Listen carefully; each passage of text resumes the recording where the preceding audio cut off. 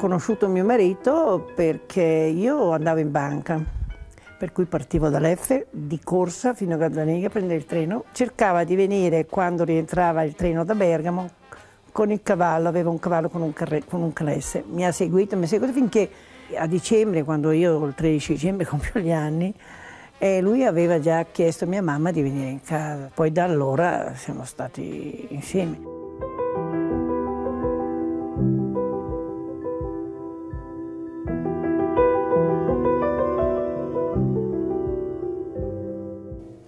Forse ci siamo amati tanto, non lo so.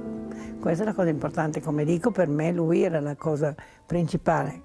E penso che anche per lui, e, l'ha dimostrato tantissimo in questi ultimi anni, lui, lui voleva solo me, insomma.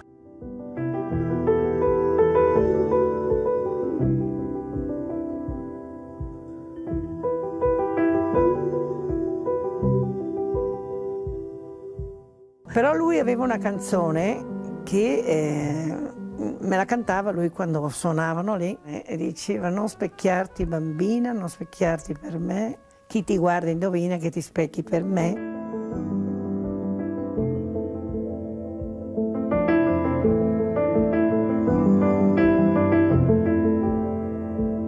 Mio marito era un re, diciamo, io ero una regina.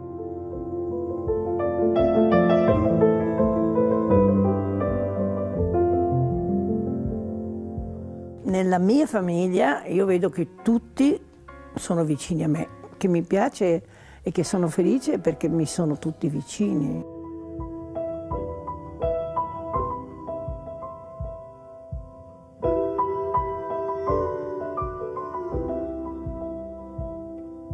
La soddisfazione per me con mio marito che lui ha creato delle cose favolose e che fortunatamente sono sempre andate bene. La soddisfazione forse anche più grande è stata che i figli hanno accettato di entrare in questo mondo di mio marito.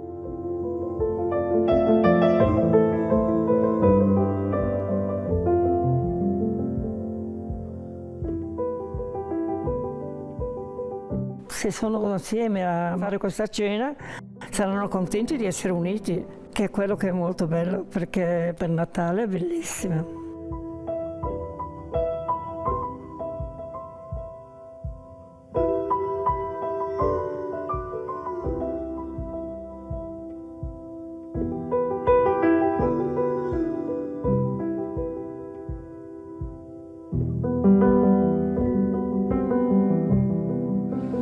Grazie a voi noi possiamo guardare con orgoglio al nostro passato e con maggior speranza al nostro futuro.